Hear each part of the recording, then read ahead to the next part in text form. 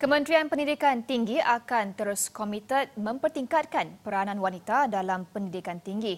Menterinya Datuk Seri Idris Jusoh berkata ini penting bagi menunjukkan keseimbangan antara lelaki dan wanita dalam bidang pendidikan.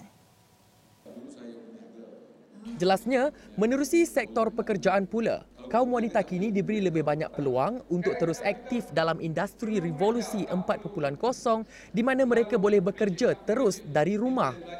Selain itu, beliau menjelaskan kaum lelaki tidak seharusnya berasa tergugat dengan pencapaian wanita dalam apa jua bidang sekalipun kerana kaum wanita seharusnya diberikan peluang yang sama rata demi mengimbangi pencapaian bersama. Pada ini uh, satu perkara yang mesti dilihat bersama. Uh, kita lihat perimbangan peningkatan wanita itu perlu ditingkatkan agar wujud keseimbangan agar wanita-wanita yang uh, bergraduat yang punya uh, kepakaran juga diberi uh, perimbangan peluang untuk bekerja dan uh, tak boleh melihat sebagai satu threat kerana ini merupakan untuk kebaikan keseluruhannya. Kita cuba memperimbangkan. Usaha-usaha yang dilakukan inilah usaha-usaha untuk memperimbangkan sebenarnya.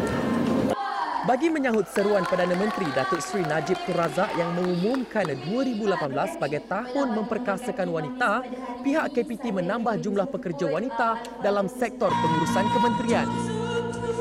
Ini dibuktikan dengan pelantikan Datuk Dr. Mary Yap Kai Ching sebagai Timbalan Menteri Pendidikan Tinggi dan Tan Sri Dr. Norul Aino Muhammad Noor sebagai Ketua Setiausaha di mana kedua-dua mereka merupakan wanita pertama memegang kedua-dua portfolio itu.